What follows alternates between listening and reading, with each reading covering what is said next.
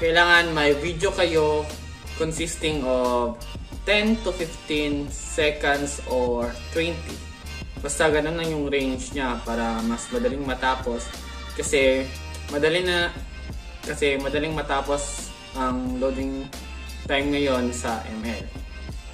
So, once na may nakita na kayo na video, so punta lang kayo sa inyong file manager. So, una, punta kayo sa inyong file manager at humanap kayo ng video kung ano yung gagamitin yung video. So, for an example here, kukuha ako sa aking camera kasi may in-edit ako kanina na, na na-save ko sa TikTok. So, punta kasi yung DCIM. Then, camera. I mean, pun kung sa TikTok nyo nakuha nyo yung video, punta lang kayo dito.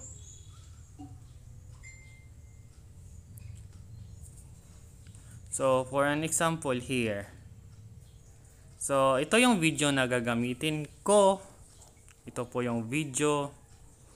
So, pagkatapos nyan, i-rename ko lang yan.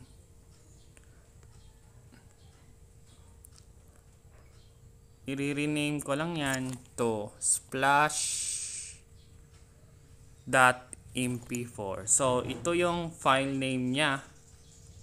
Splash.mp4. So, okay.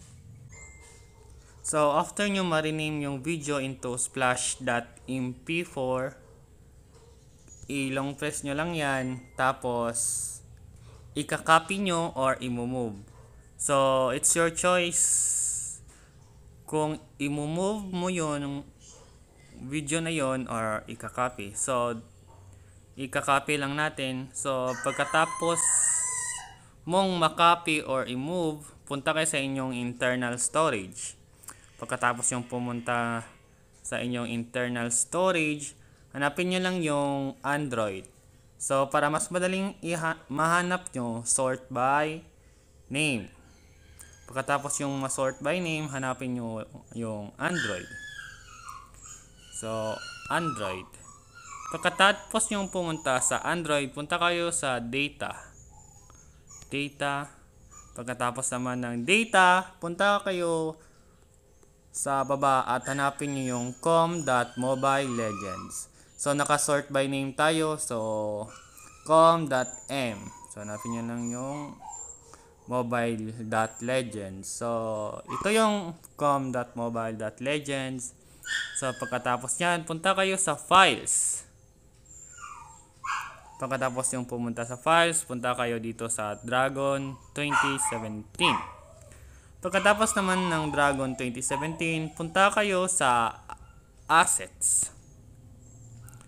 Pagkatapos pumunta sa Assets, punta kayo sa Audio.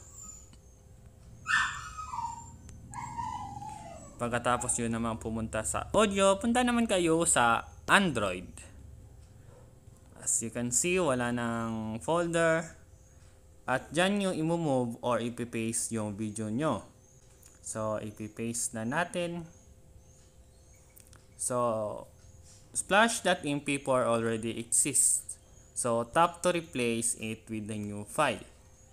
So, i- i-okay natin kasi nga i-replace natin yung dating loading screen into new one. So, okay.